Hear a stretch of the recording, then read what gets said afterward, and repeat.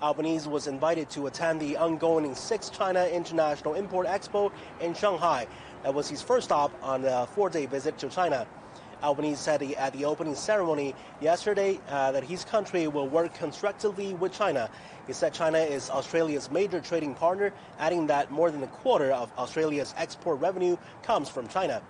Data from China's foreign, uh, actually, uh, Commerce Ministry uh, shows the trade volume between the two countries exceeded 200 billion US dollars in 2022.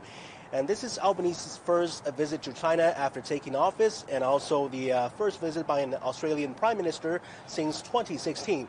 From 2017, China Australia ties began to sour and have gone through a period of twists and turns amid trade disputes and security issues. Some political analysts see it as marking a thawing relationship while tensions between Beijing and Canberra cooled over the past year. China's foreign ministry said prior to the Australian Prime Minister's visit that it's of great importance that it provides both sides a chance to review bilateral ties and chart the way forward. The ministry added that China hopes to seek common ground with Australia while shelving differences and keep relations on a steady course of improvement and progress.